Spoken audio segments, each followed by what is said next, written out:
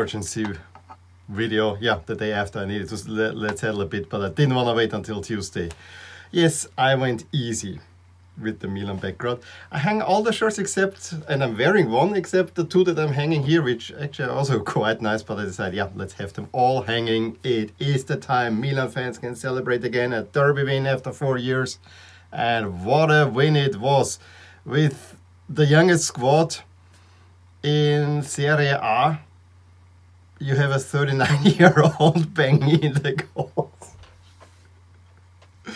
that was more like it. That was more like it. Um, if you ask my wife, she will say I was very uneasy during the whole game, and yes, I was because I saw that car I saw that before.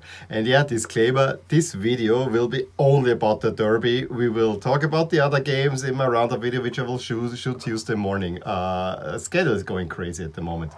Anyways, but I they, I need to celebrate this win. This is just ah, it feels so good so good at the moment. Uh,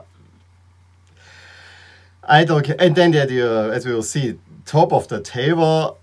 Yes, it's only four four games, but yeah, I think they're now 16 games unbeaten. Ahead of the derby, it was Inter 10 games unbeaten, Milan 15 games. So it was a great derby. And, uh, you know, I saw it on Italian football TV. They had this uh, great line Who is now the king of Milan with Lukaku uh, standing on top, uh, Zlatan moving up, and those two were the big players in that game.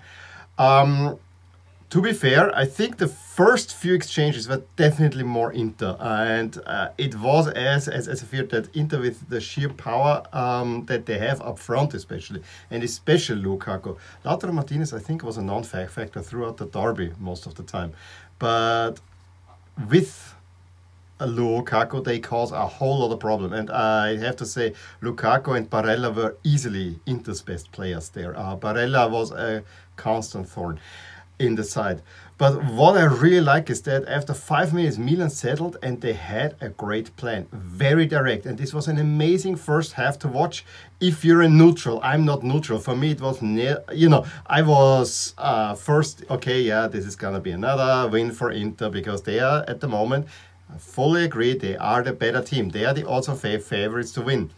However, I had a slight hope that we may, we Milan may get something out of this.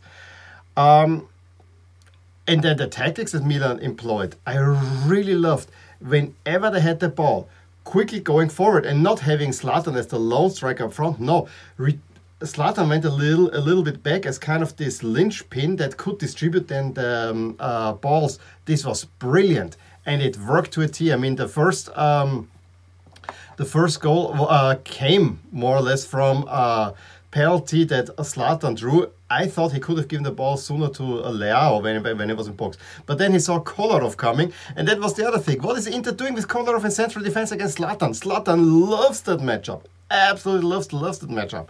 Uh, and with all his experience, he draws the foul, gets the penalty. I was afraid it will be offside. It was not. Zlatan steps up and the penalty is saved, but fortunately he can recover and quickly make the goal. Uh, in an interview after, he said, of course, he needs to make the penalty and he's not uh, very happy with that. Totally agree. This was not a well-taken penalty, and I think Zlatan should not take penalties. I think you have with Franck Kessié a much better penalty taker. Even Hakan Calhanoglu is a much better than uh, Zlatan. It's just because of the star power, I guess. And then four minutes later, a wonderful attack. I think it started to the right with Saelemaekers, who puts it then um, onto a, a, right cross. Uh, no, uh, goes to Calhanoglu, who then sends Leao, who makes a wonderful pass in to Zlatan. 2 0 I'm in heaven. I'm in seventh heaven, and then I immediately, I already was imagining how I do the, uh, the jersey and say, no, no, calm down, calm down. It was just this year that Milan was up 2 0 and they lost 4 2. Please keep it low.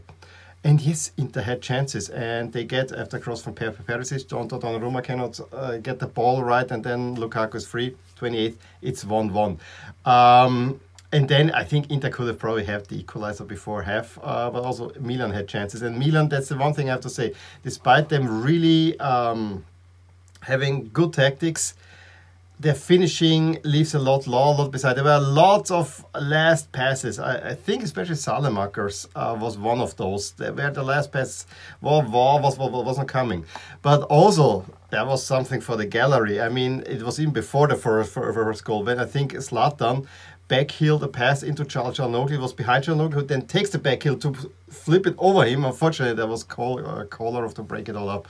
But that was just wow. And from that moment on, I thought Milan found the confidence going forward. So it's 2-1 at the half, barely. I mean, uh, Lukaku missed a sitter with the header. Um, yeah, as I said, Barella had a great shot. There were chances for uh, Inter to have the, e the equalizer, and I think it, on the balance of play, and now looking back, it would probably have been deserved. But the second half, Yes, Inter came out storming, but Milan did the best thing ever. They slowed the game down. Frustrated. It was not a pretty game, game, game, game, game but they frustrated Inter.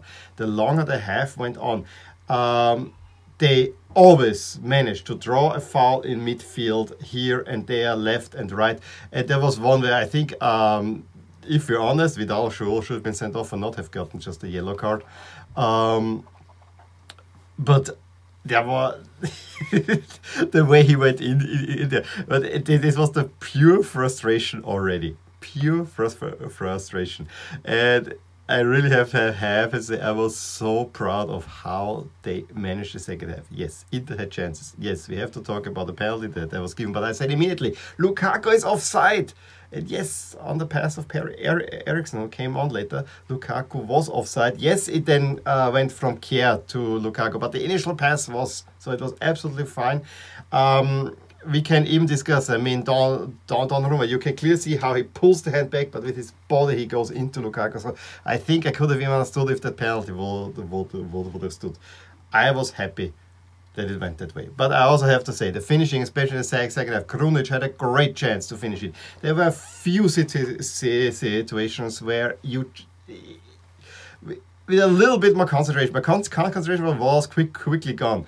Milan could have found the third on a nice counter And can I say before I go on the duel of the evening, which was actually um, um, uh, Hakimi against Hernandez, and I thought that always at the beginning Hakimi won that one, but over I think Hernandez won, won, won the duel because the other really nice thing is that you had Hernandez and Leao. So Hakimi had to play them both. And this really worked to a T because it took a lot of pressure off Hernandez um, um, playing Hakimi.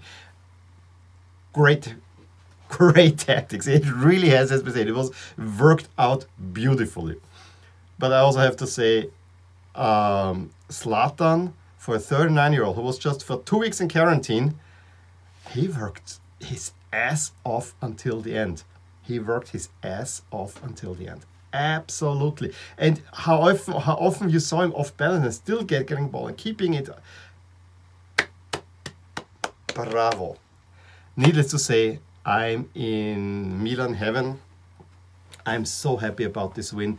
And then if you see how the results were also going, I mean, uh, Napoli, Atalanta, that came un, un, un, unexpected. Juve dropping points. I mean, Napoli being punished, Roma being punished. It all goes at the moment Milan's way. Absolutely 100%. It's all going Mil Milan Milan's way, and I absolutely love it. Um, they are now solitary top of the table solitary top of the table. Yes, it's only four rounds, but what I like more is if you look at the chances for the championship, co-favorites with Inter suddenly. I don't believe that Inter, that Milan can win the championship, but they sure are making a run for it. I actually think from what we've seen that Napoli will be a bigger challenger to Inter than what Milan will be, but I'm enjoying the moment as is so far. Um, and if I look here at the Champions League chances in uh, Milan, and it's only a snapshot, there's lots of uh, time to play, and they're not rated the highest. But Milan are actually ahead of Inter making the Champions League. As a snapshot, beautiful. I can say much more. I want to keep the video not too long. I will leave you with my favorite shots that I found from the Derby. uh, and on social media after. And yeah, give me a thumbs up if you enjoyed this video, subscribe to my channel for more videos like these, and I will talk to you soon. Bye.